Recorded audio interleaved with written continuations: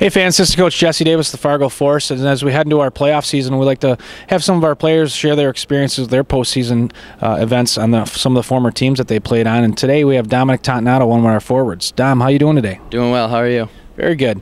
Dom, uh, you played uh, three times in the high school state tournament, and uh, why don't you share some of your experiences that you went through uh, getting there and, and as a team and what helped you as a player individually? Yeah, it's a, it's a huge tournament in Minnesota. Um, every kid growing up in Minnesota playing hockey dreams of playing down there. I mean, you're playing in the Xcel Energy Center in front of 18,000 fans. Um, not everybody can say that. And uh, like you said, I was fortunate enough to make it to three. Um, my first year, my sophomore year, uh, we beat Elk River in the section finals, um, and it was it was an amazing feeling um, just knowing that we were going down to that state tournament. Um, and the first time you get down there, it's your jaw just drops when you look out and see 18,000 fans. But uh, you got to go out there, take it all in during warm-ups, so you don't have the jitters as bad when you go out there. And then second year, my junior year, we beat Grand Rapids. It was actually a comeback game. Uh, we were down one nothing in the third, tied it with a minute and a half left. Ended up winning in overtime, and uh, we we actually took second that year, losing to Eden Prairie um, in triple overtime. And uh, playing in the championship game is even more amazing than than even just getting down there.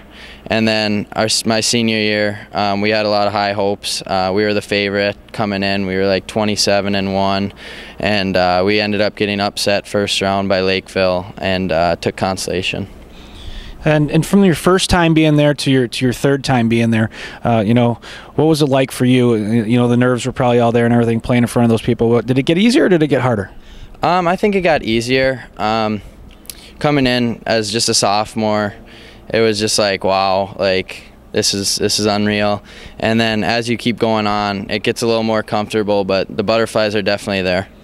And I know that uh, you were down there for the state tournament this year to, to root on your, your former Hounds there. Uh, what did you share with the guys in the locker room when you were down there?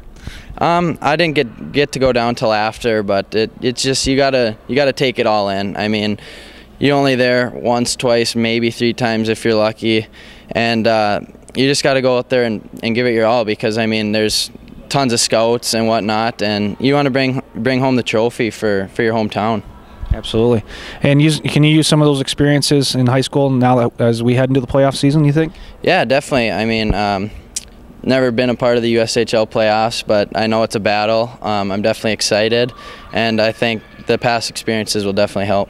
All right. Well, we'll see what happens, and uh, good luck to you and the Fargo Force, and thanks for sharing your time with us. Thank you.